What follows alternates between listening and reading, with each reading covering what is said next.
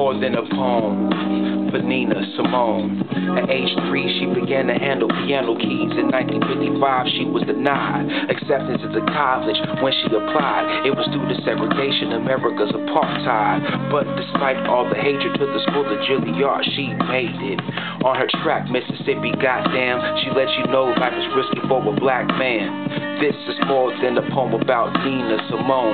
She's a revolutionary with the microphone. When she sung, she hit America like a cyclone. Her beautiful thick lips spit sober linguistics. If you missed it, go to the store and cop a disc quick. Huh, cop a disc quick. Her song, Sinnerman, felt my soul like the fam. Her songs provided info on legislation such as Jim Crow and segregation. It's crazy though, her songs will get played on the radio, but she's important still. She inspired Erykah Badu and Lauryn Hill.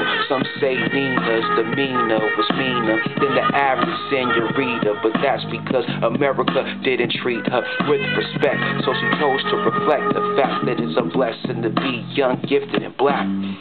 No, she didn't have massive hits, but she was a singer, songwriter, pianist, arranger, civil rights activist.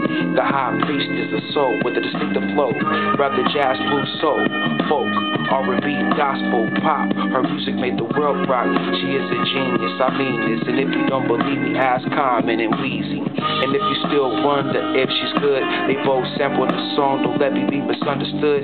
This is true like no fable. Her husband and record label showed no loyalty when they swindled her out of her royalties. Life was too short to boo boo. If you don't love Nina Simone, she put a spell on you. She was a revolutionary, still inspires us to get strong. Thankfully, she lives through artists like India Arie. Yes, she lives on. Peace.